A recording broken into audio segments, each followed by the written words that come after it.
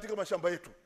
Hii ni aibu sana kuona ya kwamba mtu anatoka pande ile, anatoka analeta mifugo na anakunywa, na akiulizwa wanaua hawa watu ama wanapigana na hawa watu.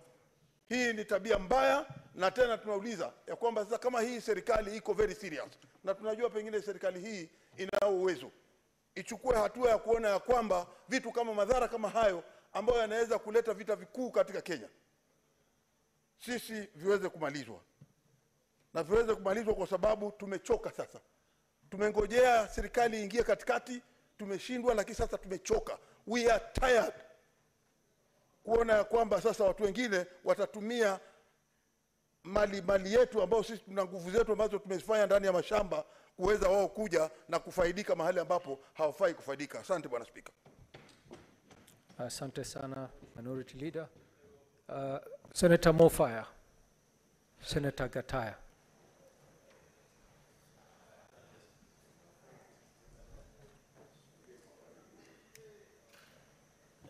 Thank you, thank you, Honorable Speaker.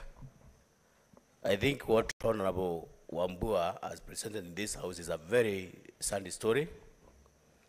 It's a very pathetic story because that uh, story has really touched quite a number of us, and it has been with us for quite some time. But I think, Honorable Speaker, we all know that we are, we are, we were on transition. We were transitioning from the previous government to this government. So most probably and most likely we are in some uh, transitional gaps. So this most just recently we put in place uh, a CS in the name of Professor Kithure Kindiki, who is a brainchild of this house, and all senators would uh, confirm that Kindiki is an, efficient uh, CS. And the recent honorable members, honorable speaker, Kindiki issued a very stern warning that uh, he is going to deal ruthlessly with all the perpetrators of crime, including Kitui and any other part of this country. All the criminals will be apprehended. We endorse also a statement from uh, Commissioner of Police, who was just recently vetted and uh, passed by this house, that uh, in the soonest time possible.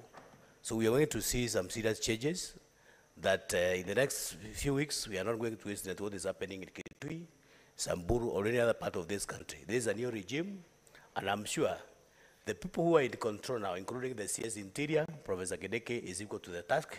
And I'm very sure Honorable Wambua is not going to raise that issue again in this house because that matter will be addressed. Thank you, Honorable Speaker, and I support the motion. Thank you, Senator. He has completed his, uh, so there's no need for point of order. Uh, Senator Olekina.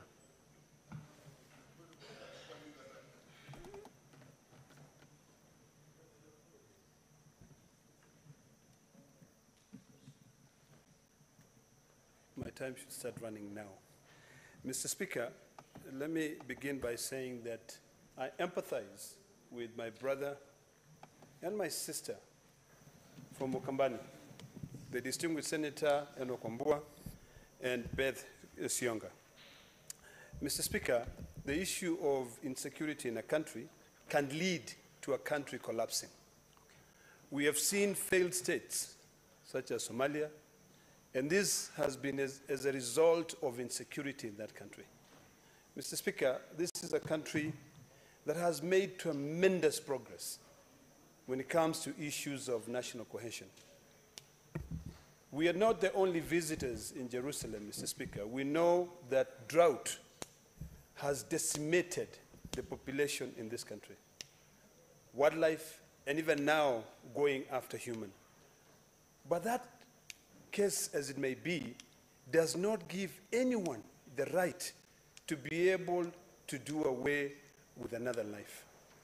Mr. Speaker, this is a very serious matter, and I do hope that the Security Council of this country, which is comprised of the President, the Cabinet Secretary, and the entire security organs, should begin taking the matter of security in this country very seriously. Mr. Speaker, yesterday, when I saw the text from the distinguished senator from Kitui, tears started oozing from my eyes because I could feel his pain. You know, citizens are reaching out to him to support. We are the ombudspersons of the citizens. We are the only people who they can reach out to. I'm now pleading to my colleagues from the other side of the aisle to reach